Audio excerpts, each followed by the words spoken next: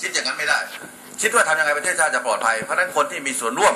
คนที่มีส่วนได้ส่วนเสีย จะต้องทำอะไร นั่นแหละเป็นสิ่งที่ท่านต้องไปหามานะครับ ในเมื่อเรารวบรวมให้ท่านแล้ว ก็เราก็จัดทำเป็นกรอบความเห็นร่วมของประชาชน จะเห็นได้ว่า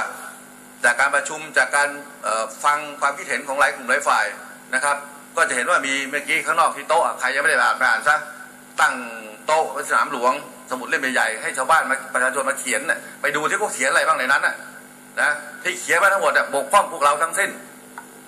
เพราะนั้นพวกเราก็ต้องไปดูว่าเขาเขาว่าเราว่ายังไงประเทศชาติมันต้องเป็นยังไง ไปดูเขาซะนะแล้วก็กลับมาทำนะครับ มาคุยกันถ้าว่าเราจะแก้ปัญหาเหล่านั้นอย่างไร นั่นแหละคือฟังการฟังเสียงประชาชน ไม่ใช่จะอะไรก็จะเลือกตั้งเลือกตั้ง แต่ไม่ได้ฟังเขาแล้วว่าเขาต้องการอะไรนะเพราะฉะนั้นกรอบความเห็นร่วมวันนี้จะเสนอให้สภาไปรูปไปใช้ส่วนกลางก็ได้สำนักงานปลัดคณะทำงานเตรียมการไปรูปท่านก็เคยพบท่านอยู่แล้ว ท่านปลัดกระทรวงกลาโหม ก็ประชุมทั้งวัน งานอื่นก็มี ก็ต้องมาทำงานไปรูป มันไม่ใช่หน้าที่ของผมเลยจริง ๆ แล้วก็นะ แต่อะไรมันทำไปแล้วก็ทำไปนะความเห็นต่างมากมายเป็นร้อยเป็นพันเรื่อง นักวิชาการสถาบันการศึกษา ประชาชนทุกภาคส่วน นักการเมืองออผู้นำมวลชนกลุ่มชนต่าง ๆ ก็มามากันหมดอะเนี่ยท่านท่านก็ไปกันหมดทุกคนนะก็ไปพูดกันเอาไว้ก็เก็บเอาไว้ท่าน ไม่ใช่ผมไอ้นี่ไม่ชอบข้างนี้ไม่เอาไอันนี้ตัดออกไอ้นี่เพราะคนละพวกกัน ไม่มีถ้าทำงั้นก็ลบกันต่อไปก็แล้วกัน นะทำไม่ได้ผมไม่ได้ให้นโยบายอย่างนั้น วันนี้ได้รวบรวมแล้วก็สังเคราะห์ข้อมูลเอกสารงานวิจัยมีอยู่แล้ว 418 เรื่อง 418 เรื่องนะไอ้418 เรื่องเรื่องย่อยอีกเท่าไหร่ก็ไม่รู้เนี่ยนั่นน่ะนั่นแหละท่านต้องเอาไปทำนะครับ แล้วก็รวบรวมทางอีเมลอีเมลทางไปรษณีย์อีก 3,827 เรื่องนะเยอะนะครับ 3,827 เรื่อง สัมภาษณ์เชิงลึกประชุมกลุ่มย่อย เปิดเวทีสารเสวนา กับกลุ่มองค์กรเกี่ยวข้องภาครัฐภาคเอกชน กลุ่มการเมือง75คณะนั่นแหละที่ทำมาในกรุงเทพเนี่ยในส่วนภูมิภาคได้จัดตั้งศูนย์ปรองดองสมานฉันเพื่อการปฏิรูป ให้กรมนภาคหนึ่งถึงสี่รับผิดชอบนะร่วมกับจังหวัดร่วมกับกระทรวงมหาดไทย แล้วก็หน่วยงานในพื้นที่ ปัจจุบันจัดตั้งศูนย์ปรองดองสมานฉันครบทุกจังหวัด จากกิจกรรมต่อเนื่องทั้งหมด 92,432 ครั้งทั้งประเทศ เพื่อเอาคนเนี่ยมาคุยกัน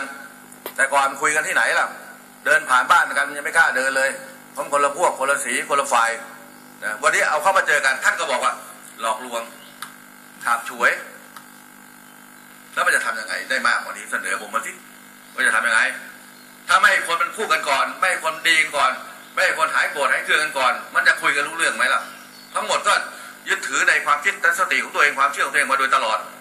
นะ ผมจะไม่โทษจากอะไรล่ะนะก็ให้รู้ว่า วันนี้เราจัดกิจกรรมมาเก้าหมื่นกว่าครั้งเกือบแสนครั้งอะนะ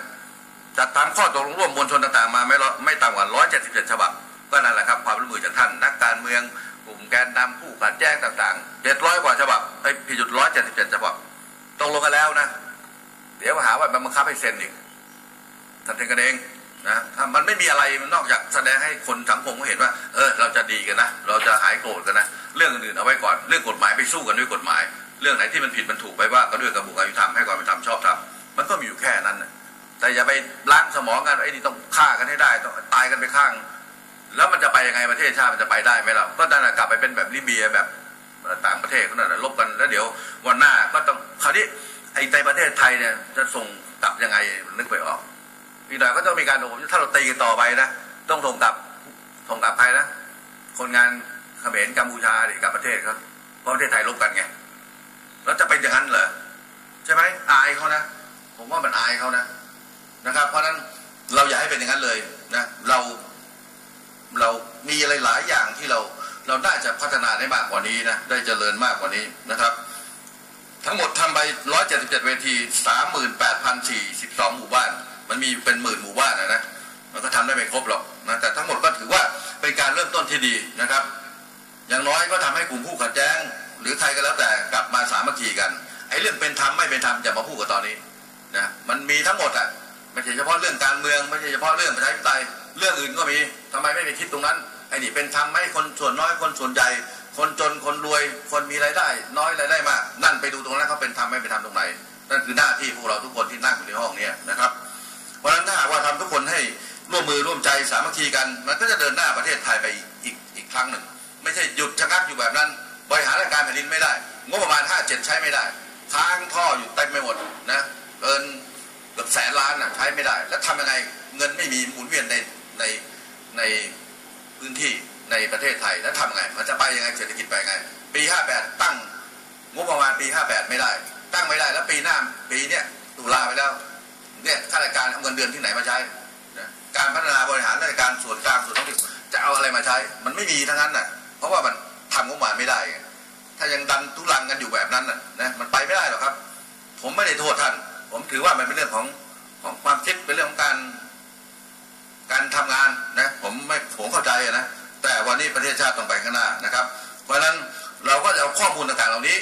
มารวบรวมให้ส่วนกลางนะที่ผมบอกแล้วไง เดี๋ยวเราตั้งสภาไปรูปขึ้นมาท่านคัดเลือกขึ้นมา 250 คน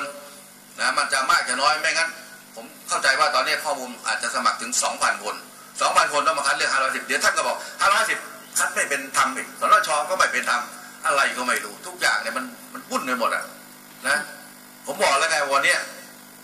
เราหยุดเลือดให้ได้ก่อน เมื่อเราหยุดเลือดที่มันจะสู้กัน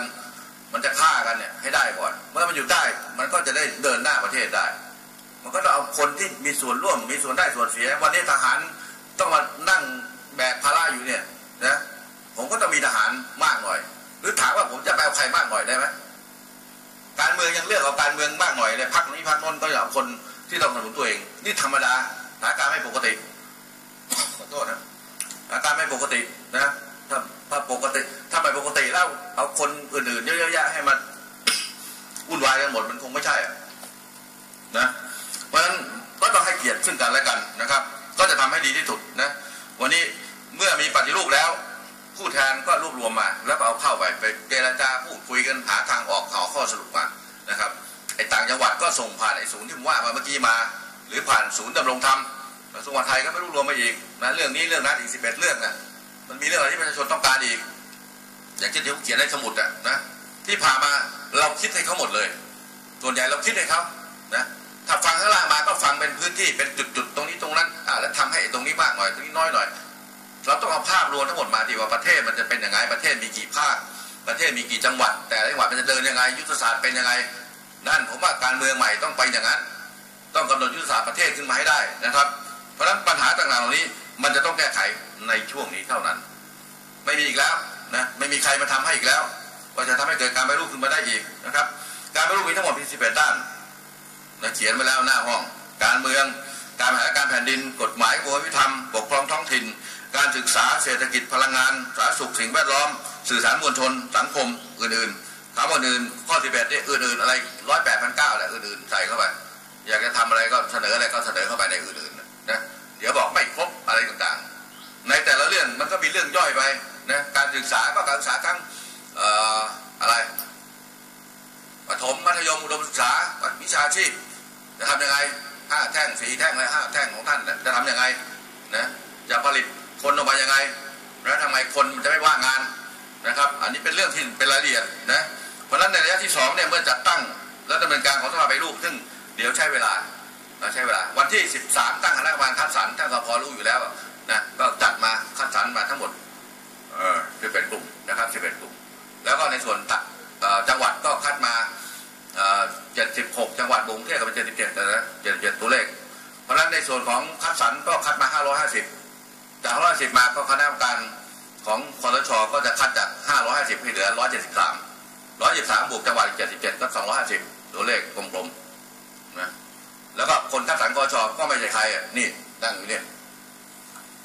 นะเพราะฉะนั้นไม่ต้องไปกลัวไอ้คนนี้กลุ่มนั้นกลุ่มนี้มาเอื้อประโยชน์ไม่มีนะถ้าผมเอื้อประโยชน์ใคร มันทำไม่ได้ทำไม่ได้ขอโทษด้วยนะฝั่งซ้ายผมเนี่ยนะท่านต้องต้องอยู่ข้างผมอะว่าทางไงประเทศไทยจะไปได้นะ ท่านอีกหน่อยวันหน้าท่านก็มีโอกาสเข้ามานักการเมืองทั้งสิ้นนั่นแหละนั้นวันหน้าเราต้องสู้กันด้วย ด้วยความดีด้วยความด้วยความบริสุทธิ์ใจนะดูแลประเทศชาติกันยังไงนะครับ ผมไม่ได้ว่าทำไม่ดีนะที่ผ่านมาท่านก็ดีของท่านนะนั้นวันนี้ก็ต้องให้ดีกว่าเดิมนะจะทำยังไง วันนี้หลังจากมีพระราชกิจการมาแล้วก็อย่างที่ผมเรียนสั้นๆย่อๆไปแล้วนะครับ ไม่เกินห้าสองร้อยห้าสิบคน ให้เหลือด้านละไม่เกินห้าสิบคน เรื่องสรชก็ไม่ต้องกังวลนะตั้งไว้สองร้อยยี่สิบตั้งมาได้ร้อยแปดสิบเก้าผิดพลาดตรงนั้นเตะได้ทุกวันจะไม่ทำงานเลยนะมันจะผิดจะถูกก็เดี๋ยวก็ตั้งใหม่เพิ่มขึ้นมาก็ได้ ไม่มีวิ่งเต้นบางคนที่ไม่รู้ที่มันไม่รู้คือตั้งไปจะไม่รู้เจ้าตัวช็อกสองวันทั้งวันน่ะเขาไม่รู้ไม่ได้บอกก่อนหรอกนะฮะมันก็มีผิดพลาดบ้างอะไรบ้างก็ขออภัยไว้ด้วยนะครับ ไม่มีวิ่งเต้นไม่ต้องมาวิ่งกับผม เพราะฉะนั้นหลังจากเราคัดเลือกได้210แล้วนะครับก็จะใช้เวลาในการอืมดำเนินการนะครับคงน่าจะไปตั้งได้ประมาณสักวันที่สองนะวันที่สองตุลาคมน่าจะแล้วเสร็จนะวันที่สองเพราะฉะนั้นวันสำคัญวันนี้คือวันที่เก้าเราเปิดชิกออฟใช่ไหมครับวันที่เก้าเปิดวันที่สิบสามคัดสรรเตรียมการสิบสี่สมัคร ใช้เวลาประมาณสักห้าสิบวันมั้งใช่ไหมแล้วก็วันที่สองนะครับ พร้อมนะฮะได้รายชื่อได้ต่างพร้อมดำเนินการก็ล้าทุนหม่อมถวายรายชื่อนะครับ ก ระบวนการก็จะเสร็จตอนนั้นนะเพราะนั้นระหว่างนี้ท่าไปคุยกันให้ดีว่าเอ๊ะใครจะเข้าใครจะไม่เข้า ถ้าถ้าฝ่ายการเมืองบอกไม่เข้าท่านบอกว่าเปิดโอกาสให้ให้ท่านที่ทำไปแล้วท่านรับได้ไหมถ้าถ้าถ้ารับไม่ได้ก็ไม่ได้ ก็ไม่รู้จะว่าไง แต่ถ้าไม่เข้าแต่ท่านเสนอเข้ามาก็แล้วแต่ท่านนะผมไม่อาจจะบังคับใครแต่ระวังมันประวัติศาสตร์นะเราทำประวัติศาสตร์กันวันนี้สร้างประวัติศาสตร์ใครไม่อยากมีส่วนร่วมประวัติศาสตร์ก็ไม่แล้วแต่ สำหรับหน้าที่สภาไปรูปนั้นหน้าที่ในการศึกษาวิเคราะห์จับทำแนวทาง